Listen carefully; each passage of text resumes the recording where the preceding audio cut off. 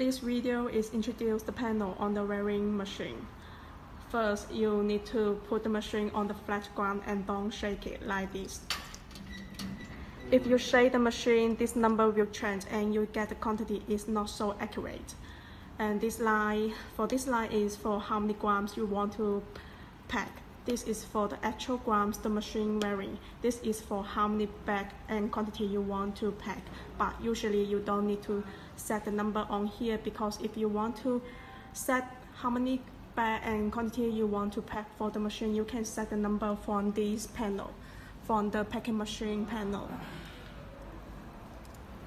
Um, because this machine uh, just can pack 100 grams, so if I want to get 100 grams, I I press this button. It's very slow to get the number I want.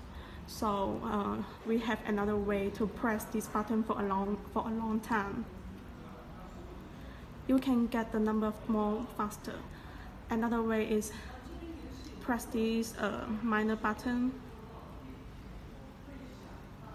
Now you can see I get the number is uh, 98.3. It's more faster. And let's see the button. This is minor this is plus. This is for the packing speed. Faster medium slow. And this is for the start button. After you set all the number you can press this button.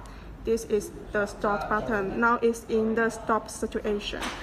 This button is for cleaning the machine. If you want to clean the machine you just press this button and the material will, will lose.